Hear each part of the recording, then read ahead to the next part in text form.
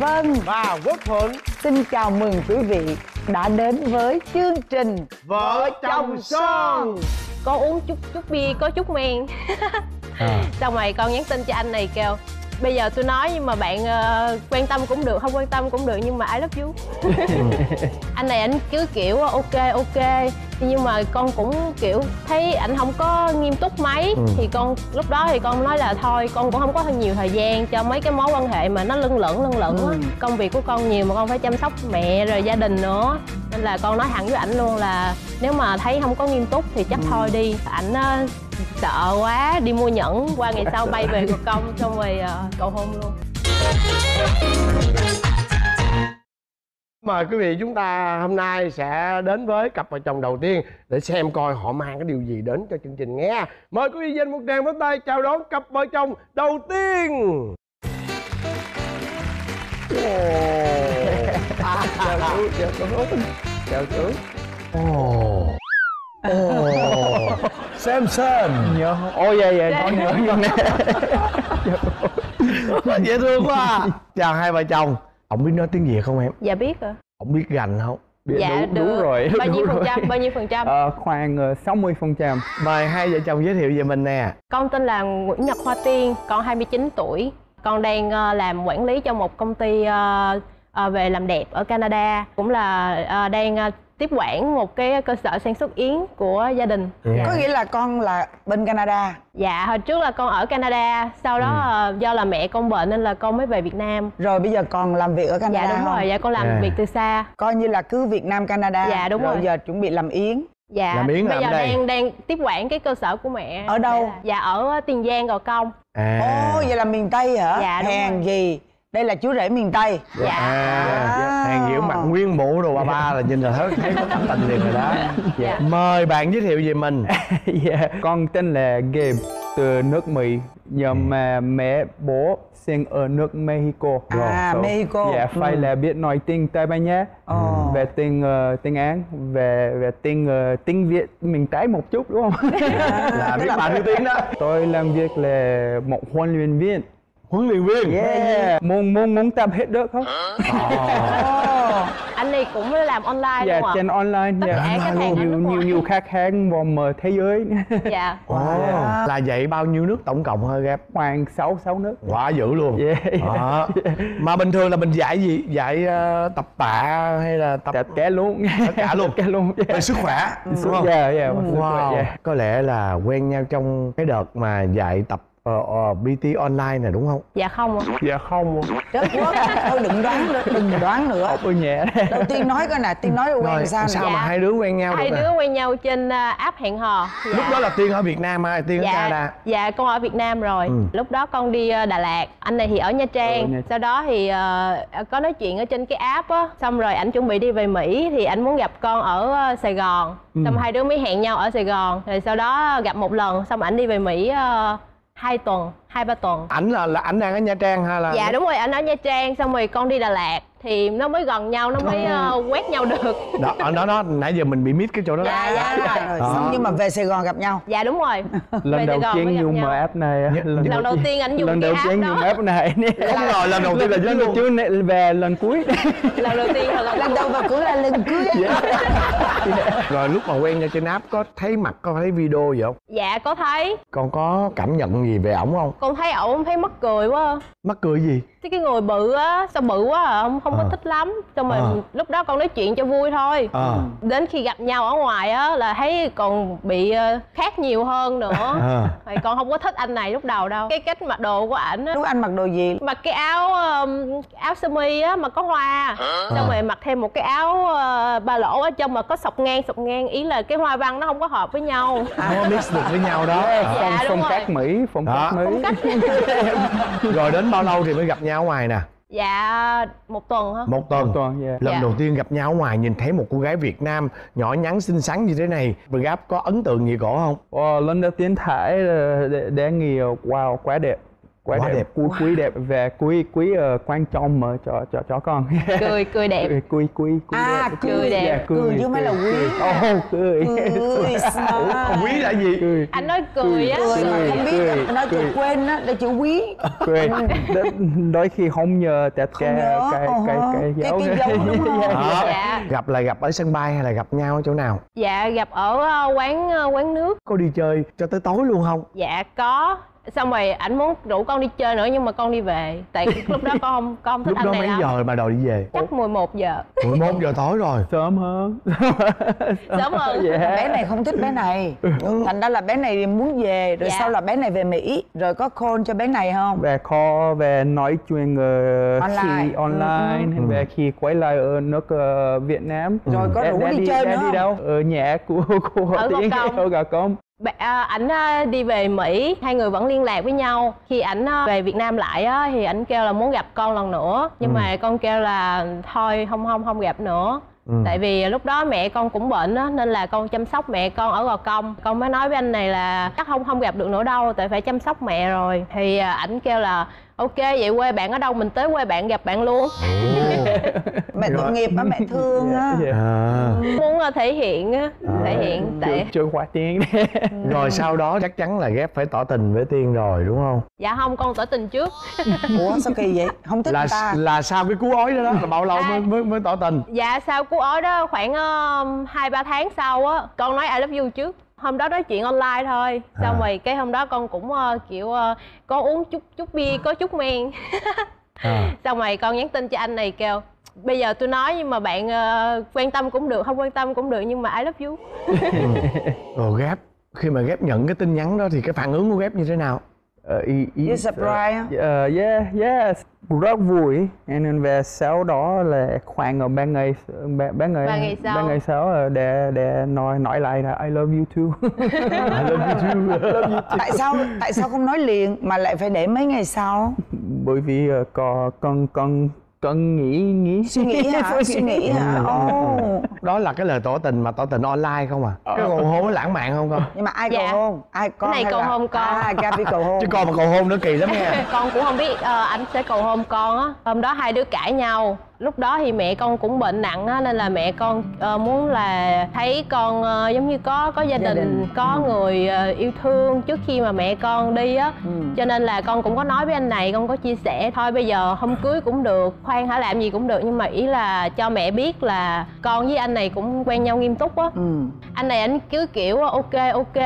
Nhưng mà con cũng kiểu thấy ảnh không có nghiêm túc mấy. Ừ. thì con lúc đó thì con nói là thôi con cũng không có nhiều thời gian cho mấy cái mối quan hệ mà nó lưng lửng lưng lửng á. Ừ. công việc của con nhiều mà con phải chăm sóc mẹ rồi gia đình nữa.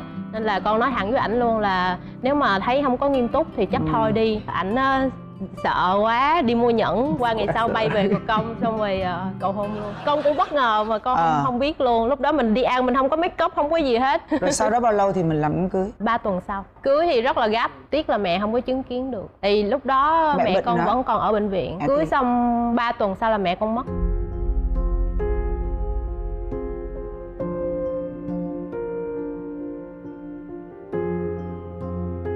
thôi mẹ chắc mẹ cũng yên lòng là Dạ. vì à, thấy được con con có một cái một đám cưới và Dạ. nhất là một anh chồng dễ Ừ. thương vui tính và tốt bụng như Gabi mẹ mất á có Ừ. thương không yeah um, buồn nhưng ờ, nhưng nhưng ờ, vui bởi vì ờ, mẹ không không có thể cảm thấy bị đau ồ mẹ mẹ Ừ, không đúng còn đau đớn nữa Dạ, đúng không dạ.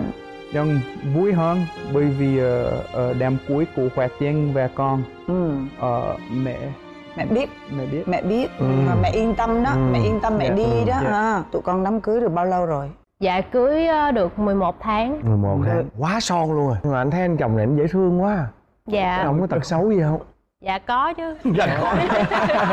Tật xấu là hay uống bia ồ dân Uống bia. PT mà uống bia dữ vậy hả dạ uống bia với lại ờ, hơi bề bộn dạ. ví dụ ví dụ bề bộn đi bề bộn Gabi. hả mặc đồ dục tùm lum trên nhà luôn ờ dạ Wow. xong rồi ờ, cạo râu cạo cạo xong không không để để everything trên bàn ồ Dạ. xong Đó. con giận xin lỗi vợ có nói nhiều không? Dạ nói nhiều. Nói nhiều hơi, lâu lâu hơi hơi khó chịu. Ờ, ờ, tại con nói ít. Ừ nhưng mà nói tiếng việt Nhiều nhiều hay nói tiếng anh nhiều? Dạ nói tiếng anh nhiều luôn. À vậy đó dạ hả? nói bạn. tiếng anh nhiều thì thì đỡ bực mà có khi nói tiếng việt nhiều mình đã không hiểu mà còn nói nhiều ừ, nữa. nói nhiều mà không hiểu gì. Nó nói Dạ. hoài nói hoài không hiểu luôn.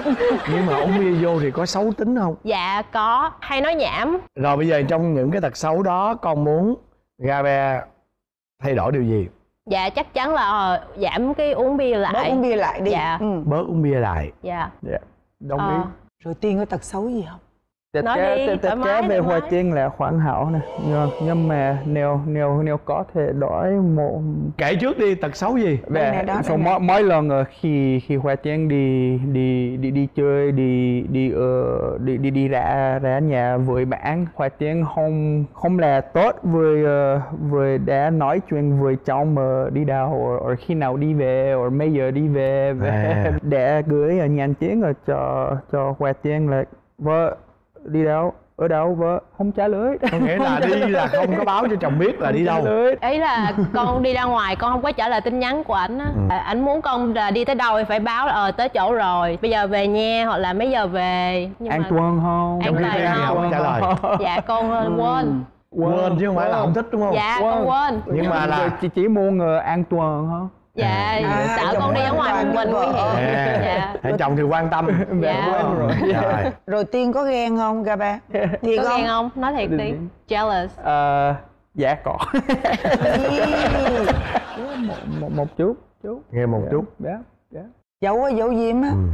Đang giấu diếm nè. Mà ghen với ai? Ghen ghen với học viên? Ồ, Hay là ghen với người cũ? ghen bạn của bạn của của của chồng tôi có jealous với tất cả mọi người đâu. Gớm chắc chắc ghen với bạn gái người cũ hả? À. dạ đúng dạ. không? Đúng không? Con kể coi bạn gái cũ của chồng là là người mỹ hay là người việt? Anh này có rất là nhiều bạn gái cũ. Oh come on. Lần gần đây nhất á là ờ, ảnh ờ, làm MC cho một cái chương trình ờ, Halloween một cái party Halloween ở Nha Trang. Ừ. con đi ra ngoài đó cái cái party đó là ảnh mời ờ, rất là nhiều bạn gái bạn bạn cũ. Bạn gái cũ và crush. Ok ok. Tới Crush luôn, dạ bình thường đi ra ngoài thì ảnh hay rất là thích ờ, kiểu ờ, ôm con ờ, thân mật nhưng mà hôm đó là kiểu tránh xa ra. Oh tôi đang làm việc tôi, tôi đang làm việc. Không không muốn đụng vợ không muốn À. giới thiệu vợ với tất cả ai hết. À, tiên thấy nó kỳ kỳ rồi đúng không? Dạ con giận ừ. nhưng mà trong đó là có đầy đủ tất cả những người mới người cũ luôn rồi đúng không? cụ Dạ. crush luôn. Đó. Crush luôn. Đó rồi cái đợt đó giận lâu không? Chắc khoảng ờ, nửa tiếng. Ồ, một tuần một tuần.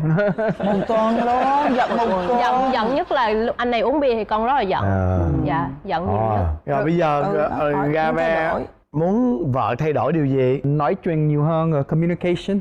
Yeah. dạ tốt hơn rõ ràng hơn vợ thích uh, làm việc quá nhiều quá nhiều bận rộn ừ, ừ. và đôi khi uh, có thể thấy Hoa Tiên cảm thấy stress nhiều stress Ừ. Yeah. so là uh, cháu muốn uh, Hoa Tiên uh, có thời gian nữa uh, vui vui à. có thời gian có free time nhiều Yeah. hơn đó yeah. con chuẩn bị có em bé chưa dạ chưa chắc hai năm muốn nữa. không? Muốn. Gabi muốn không? Muốn. Ồ, yeah. có cần muốn thuận chút không? Chút đi chút chút yeah. Chút yeah. chút là Quốc dính đó nghe ờ. rồi thôi trước khi ờ, tạm biệt quốc thuận chúc cho hai vợ chồng gáp với tiên ha.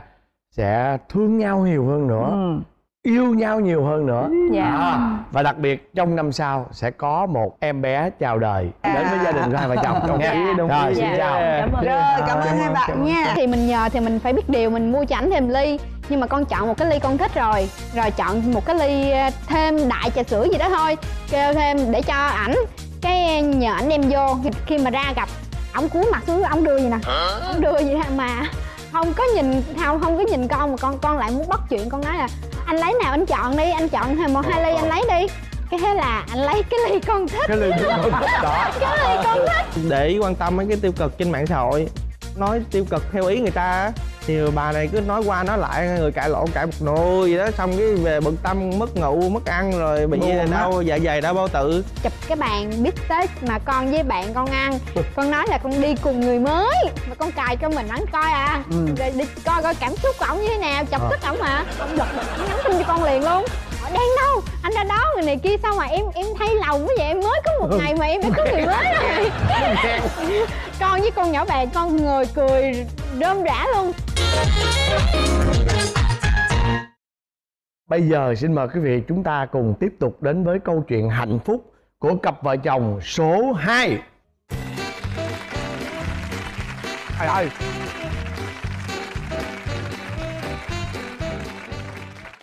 con chào cô hồng dân và bao nhiêu chú tuổi hỏi liền Không có đủ được tuổi chưa nè. nè có đủ tuổi chưa nè 15 hay là 16 nói hơn 18 chưa? dạ 20 rồi À, thôi được rồi ngồi đi ngồi đi. à à hết hồn trong em kia nó xuất hiện cái em muốn té ghế vậy đó hết hồn quá Em nói thôi bây giờ hỏi đi Hỏi đi. Mời hai Ờ. vợ chồng giới thiệu về mình À, con chào cô Hồng Vân, chào chú Quốc Thuận. Con tên là Trần Thiên Luật, con 23 tuổi và con làm nhân viên văn phòng. Con có kinh doanh thêm online nữa.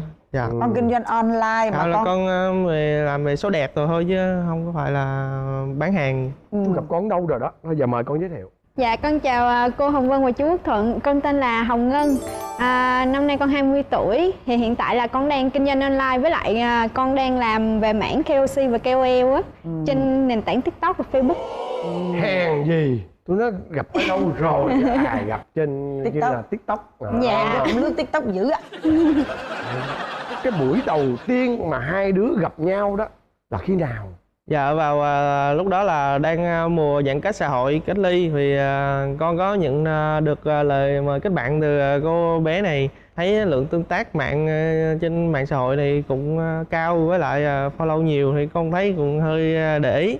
Vài bữa sau á, thì à, con có đăng một cái à, video tâm trạng lên à, story vậy á mà cổ vào à, cổ rep hai đứa nói qua nói lại con thấy cũng à, hợp hợp duyên. Đó mà tại sao mà mình đăng một cái tâm trạng của mình lên vậy mà bạn lại rep mà bạn lại có thể chia sẻ với con thì Đó. thấy mình Dạ, trở nên đặc biệt đúng không? Ừ. Bây giờ phải hỏi cô bé này. Lúc đó con cũng mới chia tay bạn cũ á. Thứ nhất là cái công việc của con á là tiếp xúc với bạn nữ rất là nhiều con thì lại đang buồn nữa. Mà trong mùa giãn cách thì mình không có thể nào mà ừm, giống như tìm mối quan hệ mới được.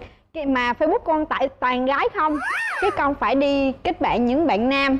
Thì vô tình con thấy cái bạn này có cái avatar cũng cũng khá là bảnh trai trên mạng. À. rồi cái con mới à, con mới gửi lời mời. Nhưng mà con gửi thì con để đó thôi chứ con không có nghĩ là sẽ làm quen hay là gì hết. Vài bữa sau con thấy ảnh đăng một cái clip thì con thấy là hợp với con. Cái con mới mới xin ảnh thôi. Con xin là anh ơi cho em xin cái clip này đi để em đăng lại cái story của em. Thì mình lịch sự người ta cho thì mình cảm ơn. Cái ảnh mới hả? Thôi anh lấy ơn thôi không lấy cám đâu. Cái con thấy ồ anh này biết nói chuyện dữ ta. Bao lâu thì hai đứa mới gặp nhau ngoài đời nè? Lúc mà còn giãn cách á thì ảnh hết ừ, con đặt trà sữa. Thì người ta không có giao được vô trong nhà con tại vì Ờ. phong tỏa.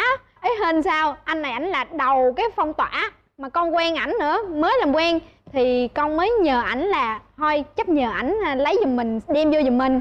Sẵn à, cơ hội con mình biết mặt người ta như thế nào. Mới nhờ ảnh thì mình nhờ thì mình phải biết điều mình mua cho ảnh thêm ly. Nhưng mà con chọn một cái ly con thích rồi rồi chọn một cái ly à, thêm đại trà sữa gì đó thôi kêu thêm để cho ảnh cái nhờ ảnh đem vô. Khi mà ra gặp ổng cúi mặt xuống ổng đưa gì nè. Ổng đưa gì mà không có nhìn không không có nhìn con mà con con lại muốn bắt chuyện. Con nói là anh lấy nào anh chọn đi anh chọn thêm một hai ly ờ. anh lấy đi. Cái thế là anh lấy cái ly con thích. Cái ly con thích đó. Cái ly con thích.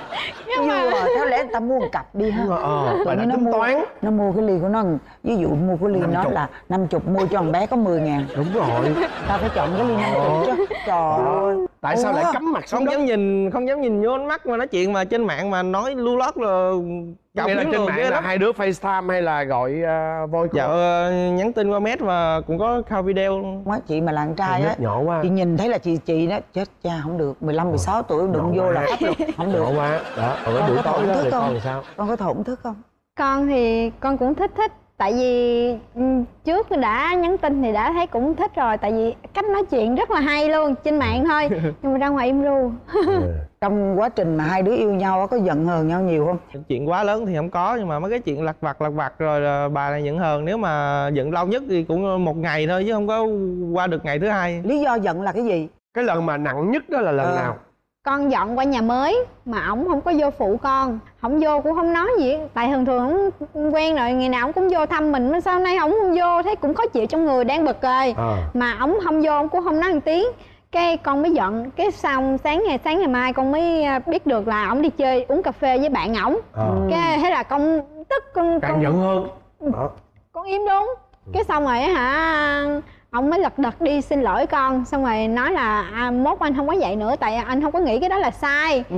rồi giờ anh biết rồi mốt anh không có vậy nữa. Con không nhớ là làm cái gì á mà cũng cũng nặng lắm. Cái con bức xúc á con chịu con kêu bằng mày tao. Cái ảnh mới kêu lần đầu tiên thấy con như vậy á ông mới mới tức quá ông mới kêu là hả? Thôi chia tay đi. Cái con kêu ok chia tay thì chia tay. Rồi xong chia tay luôn. Cái qua bữa sau liền luôn. Cái con hẹn nhỏ bạn con con đi chơi cái con mới rủ đi cho đỡ buồn á kêu thôi đi chơi với tao đi. Con không có đăng nhỏ bạn con con chỉ đăng chụp cái bàn bít tết mà con với bạn con ăn. Con nói là con đi cùng người mới. Mà con cài cho mình ảnh coi à. Rồi đi coi coi cảm xúc của ổng như thế nào chọc tức ổng mà. Ông đật ổng nhắn tin cho con liền luôn. Hỏi đang đâu? Anh ra đó người này kia sao mà em em thấy lòng quá vậy? Em mới có một ngày mà em đã có người mới rồi. Con với con nhỏ bạn con người cười rơm rã luôn. Xong rồi Rõ cái rào họ chạy ra đón con liền luôn. Cái con thấy ồ tội nghiệp quá xong qua bữa sau dẫn con đi vũng tàu cái làm quề luôn. Tự nhiên ờ, mới bữa mới mà hôm qua nay mà tại sao ờ, nay đi ăn liền. đi chơi vui vẻ dữ vậy? Điên máu xong chứ. rồi sôi máu lên con kiếm cho được hỏi đang ở đâu để con đón. Rồi thôi giờ hai đứa vô cái vụ kia đi. Vụ mà làm cưới rồi đó. Rồi Ờ. có tật xấu gì không nè kể nghe chơi dạ, Dạ, mới lấy nói gần nửa năm à. Ồ À, đó. Dạ. Rồi bước son lắm đó. bắt đầu Dạ. sống chung với nhau Thì bắt đầu lòi ra những cái tật xấu gì mà lúc yêu mình mình không có thấy. Ngáy ngủ ngáy ảnh ngủ rất là ngáy luôn. Ờ. Và cái thứ hai nữa là nói chuyện cục xúc. Đâu cái câu nào mà cục xúc đâu à, những câu ví nào. dụ như ông không không ai làm gì ông ông bị đau bụng hay là ông mệt trong người á là con con nói cái gì á? "Ôi, em cứ cái gì đó rồi xong rồi nói chuyện không có chủ ngữ việt ngữ gì á Ờ. kiểu kiểu kiểu cọc vô duyên Có nghĩa là nói chuyện không đầu không đuôi Rồi Rồi gì còn nữa? gì nữa ảnh nóng tính ông ảnh im ru à con thì lại mỗi lần ấy thì con hay nói Ừ, còn đó là cái con con khỏi cần phải khoe chút xíu nó nói giờ. Dạ. ừ Rồi bây giờ tới trở con. lại vấn đề Tới- xấu nó đi. tới con Đó. đi tới con đi tật xấu Dạ. của cô ấy vợ con là hay ờ, để ý quan tâm mấy cái tiêu cực trên mạng xã hội nói tiêu cực theo ý người ta á. Thì bà này cứ nói qua nói lại người cãi lộn cãi một nồi gì đó xong cái về bực tâm mất ngủ mất ăn rồi bị Buồn đau dạ dày đau bao tử cấp cứu mấy lần luôn. Thực sự là mới đầu á là ai cũng sẽ bị ảnh hưởng bởi những cái chuyện đó chứ không phải là không nha em. Dạ. Nhưng mà sau đó cái chị suy nghĩ vậy nè những người nào mà mình cảm thấy là khi mình tiếp xúc với họ mình thấy là mình vui thì mình làm còn không con cứ block hết block, Dạ, đúng block hết Dạ. dạ thôi chúc cho hai vợ chồng sẽ càng ngày càng yêu thương hơn. Dạ. bây giờ trước khi ờ, chúng ta đến với phần hấp dẫn thì không biết là con á con có muốn có điều gì muốn ờ, thể hiện với chồng muốn chia Ừ, sẻ với chồng muốn với nói với chồng. chồng không? Thì đó giờ trước giờ em chưa có nói những cái lời ngọt ngào với anh em chỉ hành động thôi. Thì à, nay em sẽ nói hết những cái gì mà em suy nghĩ trong lòng của em về anh. À, cảm ơn anh vì đã đến bên em yêu em và chăm sóc cho em. Anh không có biết hút thuốc không ăn chơi mà đi làm về là chỉ biết uh, ở với vợ thôi. Thanh xuân của người phụ nữ á, khi mà lấy chồng rồi sẽ bị mất. Nhưng mà em thì không nghĩ vậy tại vì đàn ông người ta cũng có thanh xuân của người ta người ta bỏ từ bỏ cái thanh xuân đó. Người ta đến với mình người ta yêu thương mình chăm sóc cho mình. Còn còn nhiều hơn những gì mà mình làm cho người ta thì em cảm thấy rất là biết ơn anh vì điều đó. Hãy cùng em trân trọng điều đó nha nghe được những lời của vợ nói thì con cũng rất ờ, xúc động